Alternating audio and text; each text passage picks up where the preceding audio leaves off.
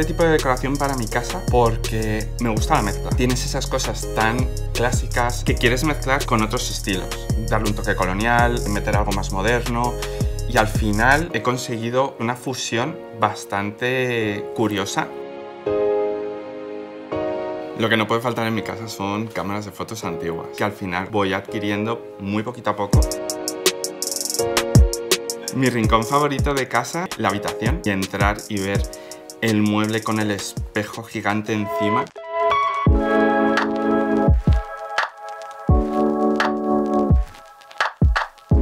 Hay varios objetos a los que les tengo un cariño especial porque son piezas antiguas que he transformado.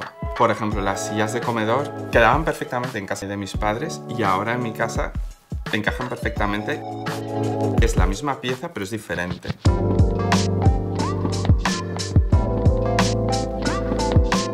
Dejé mi trabajo, empecé a hacer fotos de street para revistas. A raíz de ahí empecé a hacer fotos también a mi hermana y con la cantidad de viajes que hacíamos, al final siempre me salían oportunidades. Había medios que querían que crease contenido para ellos. de mi trabajo que más disfruto cuando ves que la gente está contenta con el resultado de, tu trabajo, porque al final cuidas cada detalle. Cuando ves que la gente valora eso, es muy gratificante. He tenido esa suerte de poder descubrir un montón de sitios. Un mes estuvimos en, Cuba. Lo que más me llamó la atención es que todo el mundo que veías era feliz. Me llevé una figurita de una mujer eh, de ébano y es una talla así, pequeñita.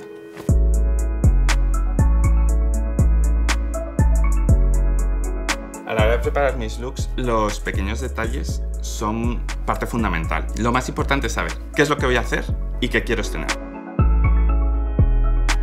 En mi armario no puede faltar unos vaqueros y una camisa blanca. Nunca. Siempre, siempre. Haga lo que haga, siempre va eso en la maleta. El buen gusto es algo intrínseco, algo con lo que naces. Es la capacidad que tienes de elegir determinadas cosas en cualquier ámbito. Un buen momento para disfrutar de un rol es cuando no quieres estar en otro sitio. Estás donde estás y, y eso es lo que cuenta en ese momento. Compartiría una copa de ron Matusalén con mis amigos de siempre.